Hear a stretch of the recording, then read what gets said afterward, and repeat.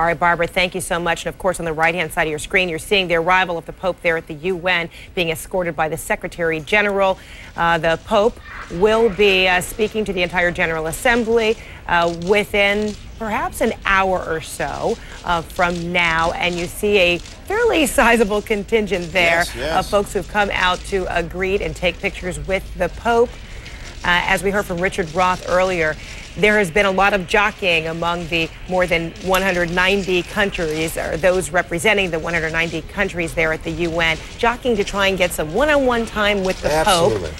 Um, and so now we're seeing the jockeying of trying to get at least a photo op with the Pope during his historic visit to the U.S. Three days he'll be in New York, and he's got a very full plate in addition to the UN. He'll, of course, be leading Mass at Yankee Stadium, and, of course, will be visiting with victims of 9 11 at Ground Zero as well. All of that taking place over the next three days. Meantime, the Pope's visit has really meant uh, a lot, not just to Catholics, but people in general here in the U.S., as you see right there. While in Washington, D.C., he was at the cultural, the Pope John Paul II Cultural Center last night. And while there, the Pope had a chance to uh, hear some beautiful music as well from a group with a very funny name. It's called the Suspicious Cheese Lords, uh, which is a, um, a very literal translation from a Latin name that you don't want to hear me attempt.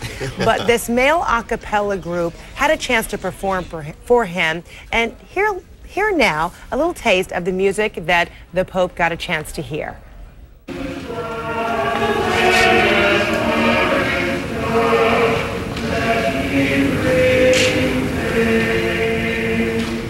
Music there from this a cappella group. If only we could see them, you can hear them, but we do have the pleasure of getting a chance to see one of the vocalists, Clifton Skip West. He's a member of the male a cappella group. And I'm going to call you Skip because you and I have known each other for years, Skip. Too many years. Uh, Too many years. and I know that, you know, you have forever had a great commitment to the church, and this had to be a dream come true to be able to bring your music right to the Pope in his company.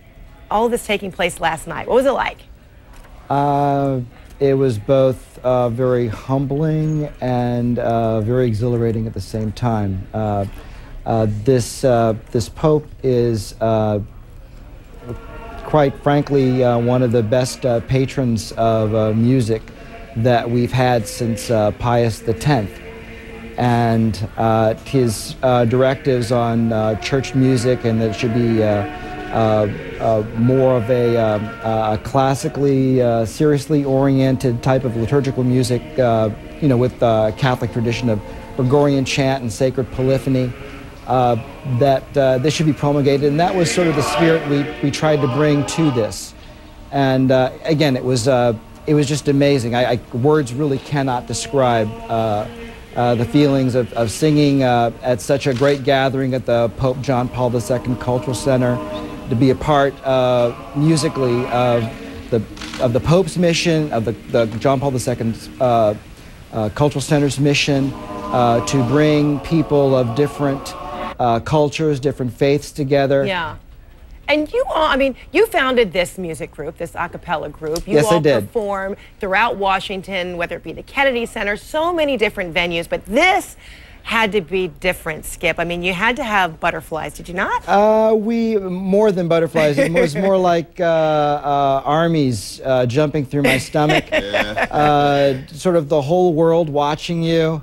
Uh, and especially the uh, the composer of that piece is also a, a cheese lord, uh, George Cervantes. Uh-huh. Uh, and uh, he was just uh, basically in the same caliber as yeah. Palestrina or any of the other papal composers that have that have come through. I mean, you're, you're writing for the Pope. Yeah. What else can you do? And, you know? but you know, so extraordinary too, as you mentioned. I mean, we know that this Pope has a real affinity for music. I mean, he's a pianist himself, quite accomplished. Quite accomplished. And he has heard some of America's best operatic music over his uh, past three, I guess now day four, um, you know, day in, in the U.S. And to now for you and your group to be uh, in the same category as your Kathleen Battle, Placido Domingo, Denyce Graves, all of whom have performed for him while in the United States, that has to be a tremendous honor. It was a tremendous honor, uh, especially uh, at the end. Uh, he sort of paused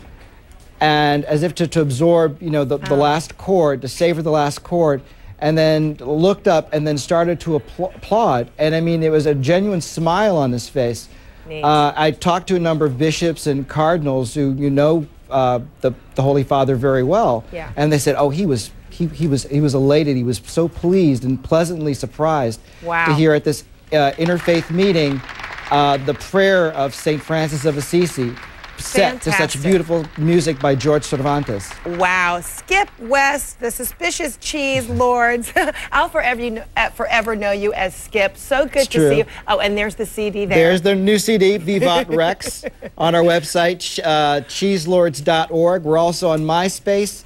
YouTube and iTunes. Okay, what a plug. nice. Skip, smart. Work it. Well, thanks so much. And thanks for sharing your story and your experience. And it's so great to see you after so many years, even Likewise. it's funny. I never thought that. Life. never thought that uh, beginning a music group around my dinner table would uh, would, would come to this, and especially and to meeting happened. you again. Awesome, fantastic, Skip. Great to see you and hear your beautiful group, the music Thanks. as well. Thanks so much. Thank you, Fredricka. We'll connect again.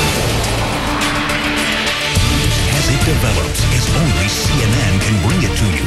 See for yourself in the CNN newsroom. How cool is that? Armies marching around. Yeah, I love Nerves, that. are you kidding me? Butterflies, armies in my you belly. really That's described great. that so succinctly, Ooh, so that's well. terrific. That's Fantastic. Well, you are in the CNN newsroom. I'm Fredricka Whitfield. And I'm Tony Harris. What do you say we check uh, mm, the big board? New York Stock